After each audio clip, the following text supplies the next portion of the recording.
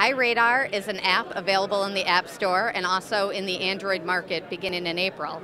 And the app is free and it gives you red light camera, speed camera, speed trap, dangerous intersection information all on your iPhone. Free? Free. And why would you? Why would a company like Cobra do that?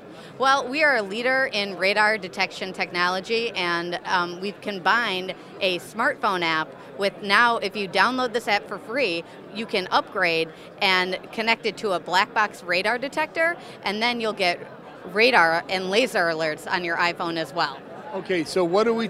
the app is free, but what are we talking about for the black box? The black box is 129 and that connects via Bluetooth to either an iPhone or an Android based phone and now you're going to get the radar and laser alerts on your iPhone as well. But the great thing about it is all the audio then once it's connected is routed to the radar detector so you're going to get those alerts loud and clear and you can then pair a hands-free device as well and keep on having phone conversations clearly and safely while on the road.